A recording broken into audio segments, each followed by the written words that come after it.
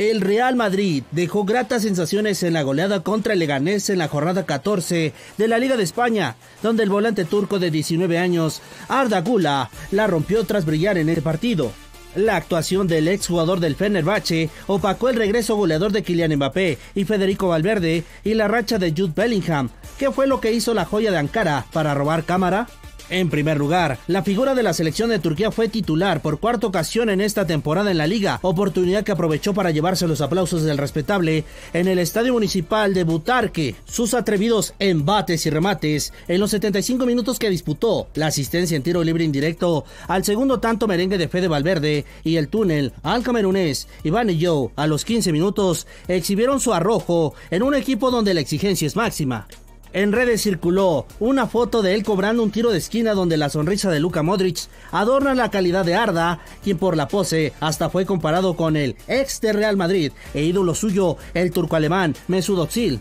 Después del duelo, Gula posteó la frase Cree y levántate y varias fotos donde Pajarito, en su papel de capitán, le agradeció el pase a gol y su entrega. A destacar que en esa publicación Gula abraza a Donatello y Vinicius, a los que se rinde por segunda ocasión para demostrar la unión y el apoyo al francés, quien no anotaba desde el 19 de octubre de 2024 en casa del Celta de Vigo su séptima diana en la campaña.